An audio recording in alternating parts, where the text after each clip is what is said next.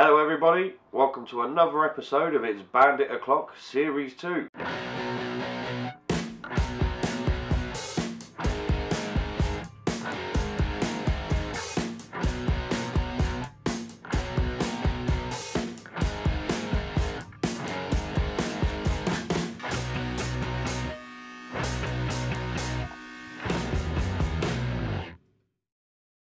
This week we finish stripping a bike down. I'm going to start off by draining the oil out of the bike. Then I'm going to move on. I'm going to take the back wheel out. I'm going to take the front end out. Then I'm going to take the exhaust system off, oil cooler, a few of the little brackets and bits and bobs that are left. And then it will be time to take the engine out, which should be quite fun by myself. So let's crack on and get going.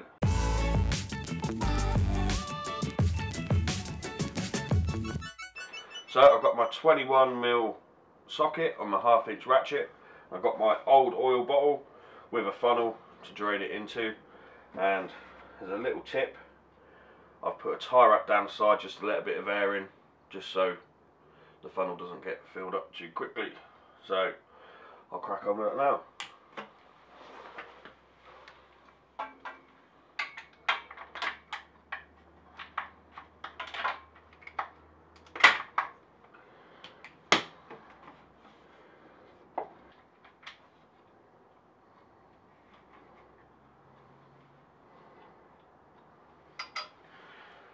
Now, while that's draining out, I'm going to move on to getting the back wheel out.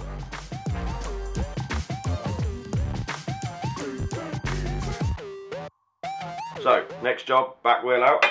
I've got my 24mm ring spanner. Tighten on to the back wheel.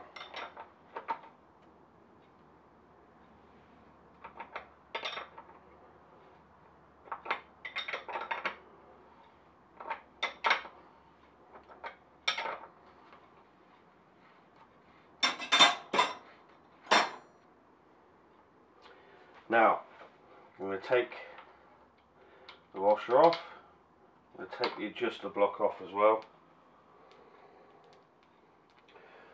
Put that on the side and I'm going to use my persuading stick just to help get the spindle out.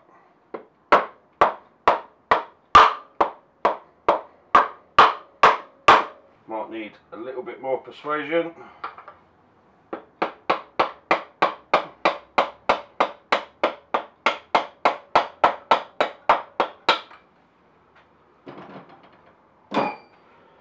Try and keep the wheel level so it's easier to get out.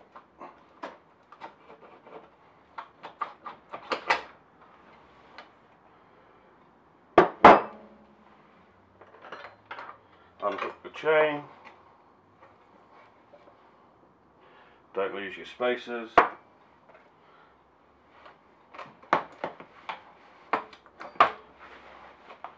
And there we go. The back wheel's been removed.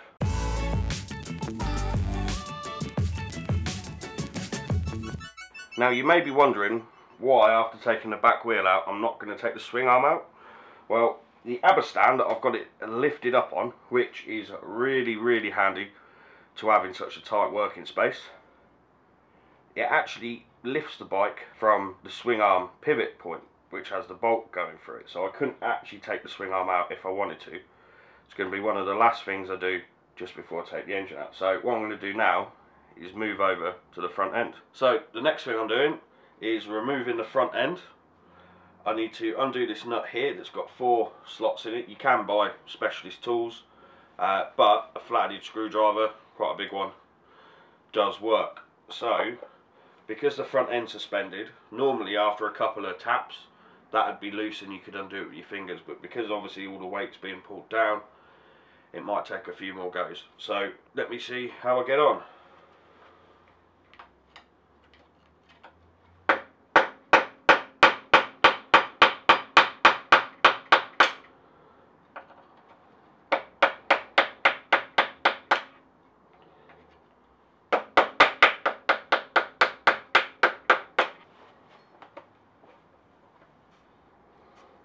go. I've took the weight of the front end and now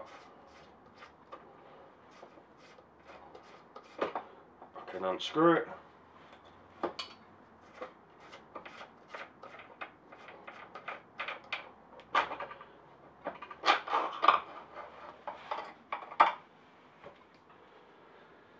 And there we have it, the front end has been removed.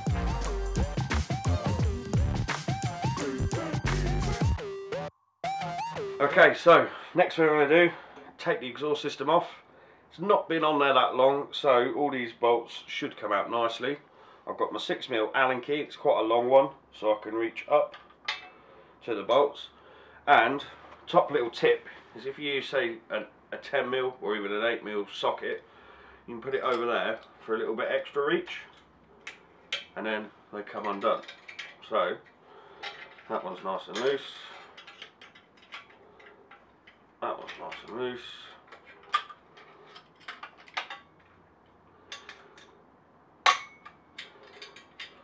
Nice and loose. Move to the middle. And if you see here, the socket just gives you a bit of extra reach because you'd struggle. And then they come undone.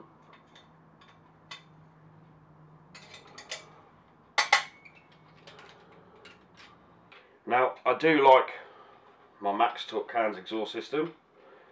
I got from Martin and Buzzgo. I think that's how you. Always terrible with those. But it is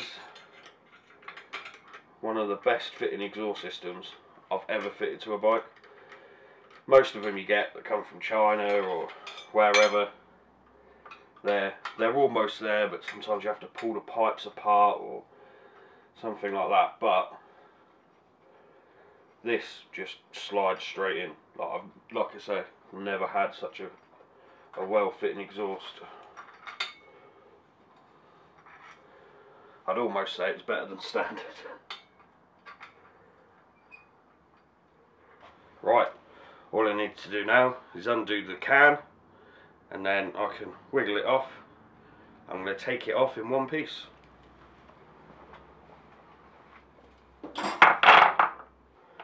I need to be careful when I take this out because it will come away, so bear with me.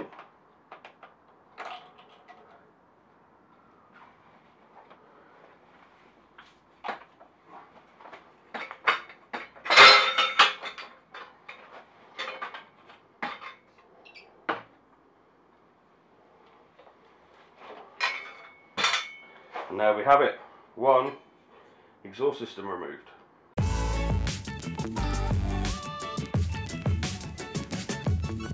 Okay, so the big stuff's done. Now it's just the boring bits like the footrest hangers, bits and bobs, few little brackets, caliper, shock, just little bits and bobs. So I'm going to do a time lapse of me just stripping them down, getting them done, and then we can move on to the last big job, which is taking the engine out. So yeah, cue the time lapse.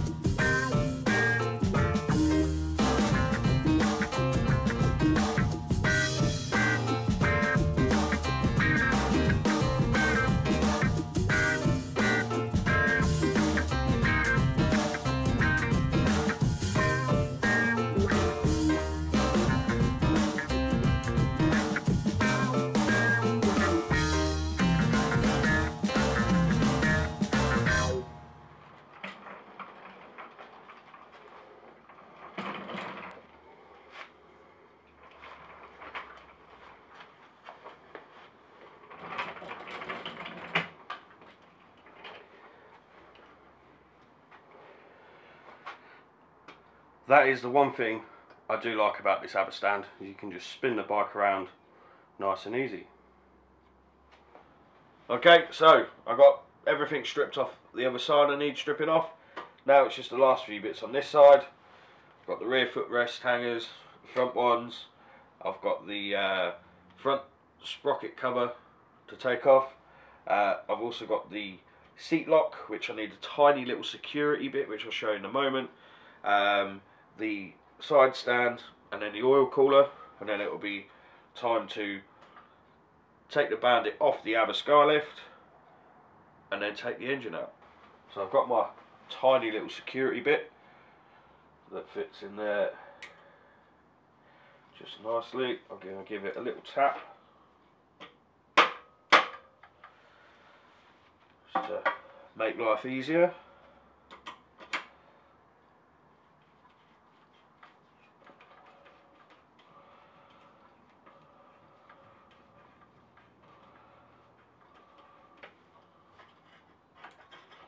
There we go. One lock and cover removed. So I can actually put those back in there so I don't lose the security bolts.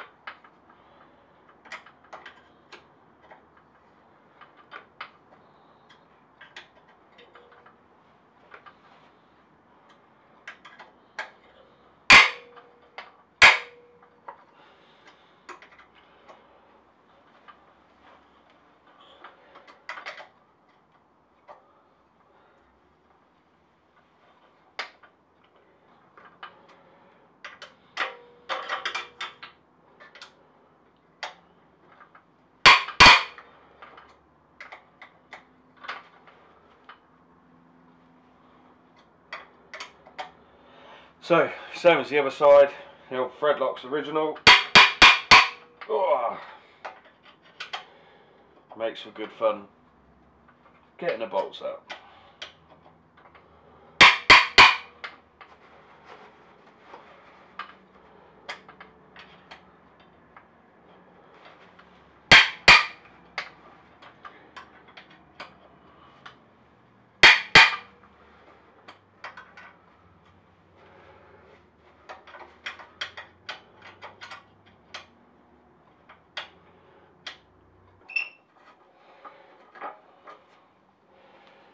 There we go.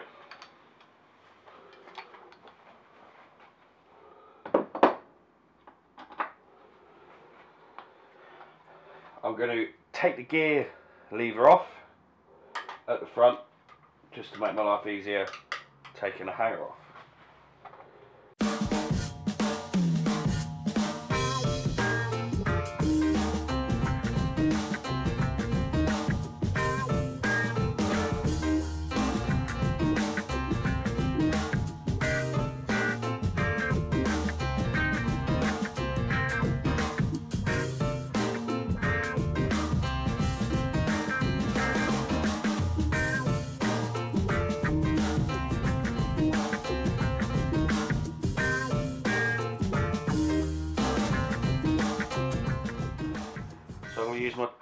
10 mil socket trick with my 5 mil Allen key just to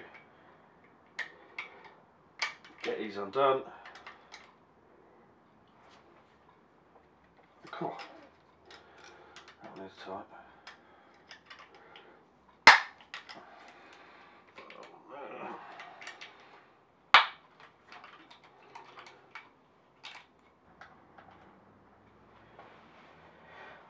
Now I'm going to take this off and what I'll do is I'll put all the bolts through a piece of cardboard in the order that they come out in just so I know where they go back when I finally come to take the bike back together. One last one and the slave cylinder everyone forgets.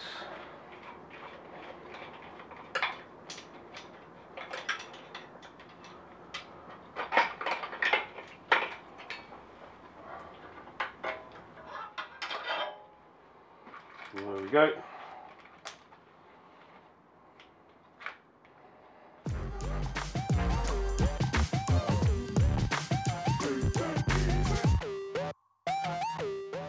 So I'm going to loosen the bolts at the top of the oil cooler.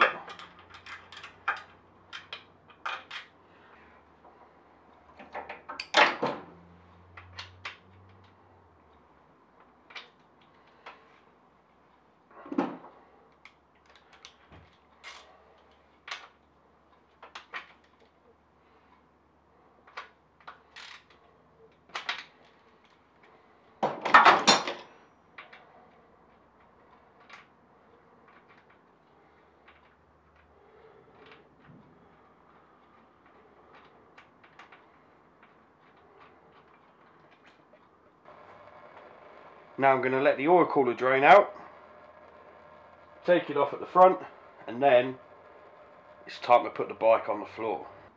Now the bike is off the ABBA stand. That was quite a job. I had to get a second pair of hands to help me out there. But we got it off and it's now on the floor. And you may think, why are you doing it on the floor? But I've got a little trick I'll show you how to get the engine out nice and easy on the floor by yourself.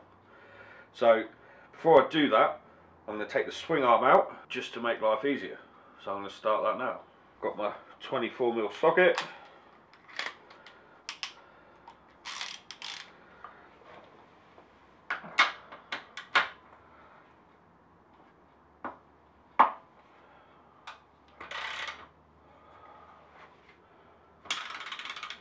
Gonna put my 19 on the other side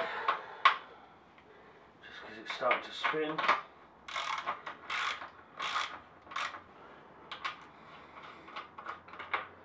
There we go, that's out. Now I should take that out one spindle, which is nice and greased up, which is good to see.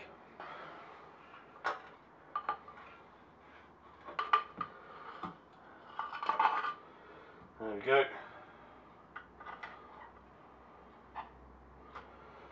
Swing up. Now the first thing to get the engine out, we have to take the removable frame cradle out. So I'm going to use 6mm Allen key and a 14mm socket. So we have two bolts here, two bolts there, two bolts around the other side. Shows the last time I did this, it's not 6 mil. it's probably 8. So there we go. 8 mil. That was loose.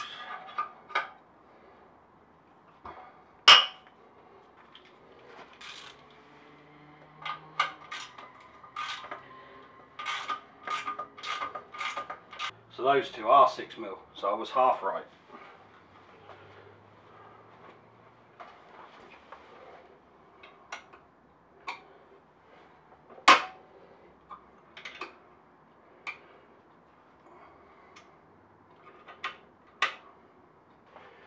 Loosen these ones just down here at the bottom as well.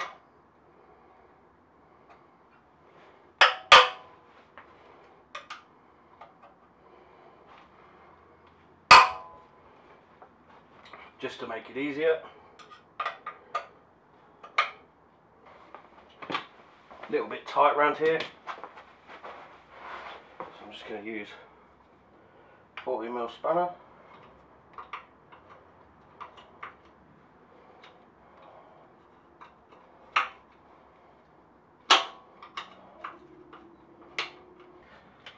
So two left to do, which are right at the front of the engine.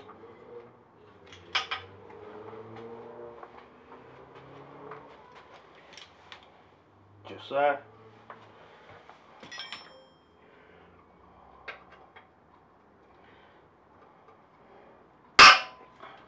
Woo.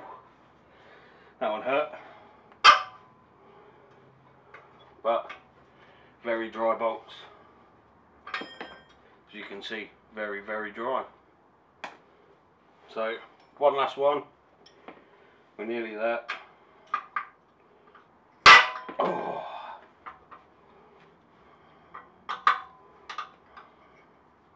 One more last rusty bolt. So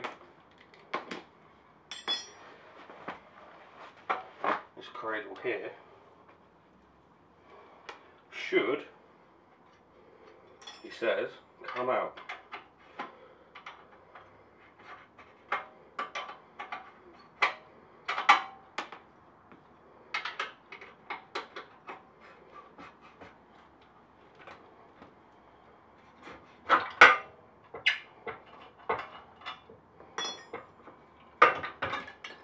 There we go, that's the cradle removed. It's going to make getting the engine out a lot easier.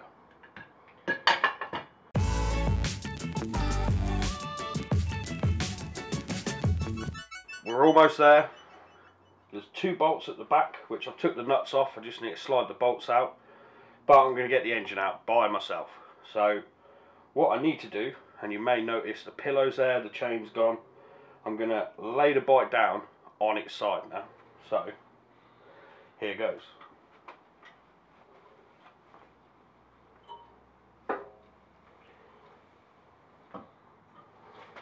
So the bike is now on its side. Two bolts here. There's the top one, slides out nicely, and then there's a little spacer just there. And then we've got one more just at the back here. which is going to slide out nicely as well. So,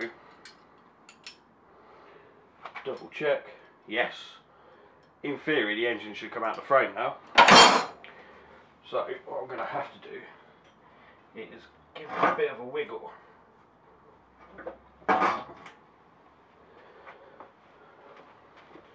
So I'm almost there, you have to sort of twist it and pull it and then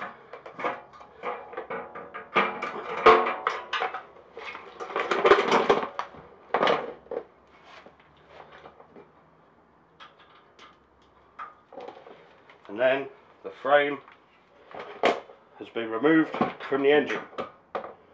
And the airbox comes out really easy. So I wouldn't recommend doing this if you've got a nice frame with nice paint unless you've got something protective on the floor. But you can get the engine out by yourself without lifting it. Bit of sweat on my brow. So that's it for another episode of its Bandit O'Clock Series 2 don't forget to uh, give us a share and a comment and a like and a subscribe and all those things everyone else says tune in next week to see what I get up to Am I going to sort the gearbox out? Am I going to get the frame powder coated? Or am I going to do something completely different? Who knows? You'll find out next week. We'll see you later.